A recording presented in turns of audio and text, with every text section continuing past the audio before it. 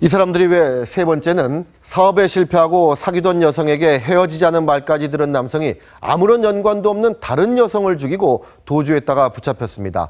자기도 죽으려고 했다는데 물론 뭐 용서받을 수 없는 죄를 저질렀지만은 역시 삶이 힘들었나 봅니다. 정은섭 기자입니다. 모자를 쓴 남성이 비틀거리는 여성을 데리고 걸어갑니다.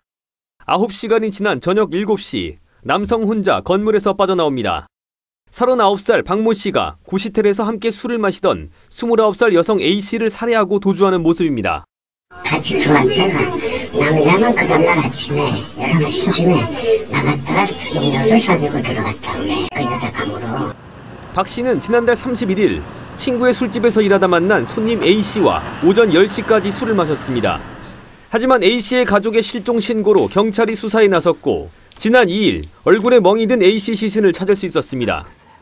피의자는 자신의 방, 침대 아래 알몸으로 이불에 돌돌 말린 채 발견됐습니다. 경찰은 CCTV를 분석해 중학교 동창집에 숨어 있던 박 씨를 범행 3일 만에 체포했습니다. 박 씨는 최근 운영하던 학원을 폐업한 뒤 술집을 인수하려 했으나 자금을 모으는 데 실패했습니다.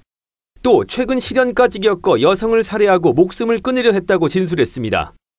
학원도 하고 뭐 베트남 가서 뭐 가이드도 하고 아니 가끔 이제 술 먹으면 뭐 인생에 이렇게 안 풀리냐고 아니야 근데 요즘 사람들 사거든 경찰은 박 씨가 성폭행 범행이 드러날까봐 살해한 것으로 보고 구속영장을 신청했습니다. TV조선 정우섭입니다.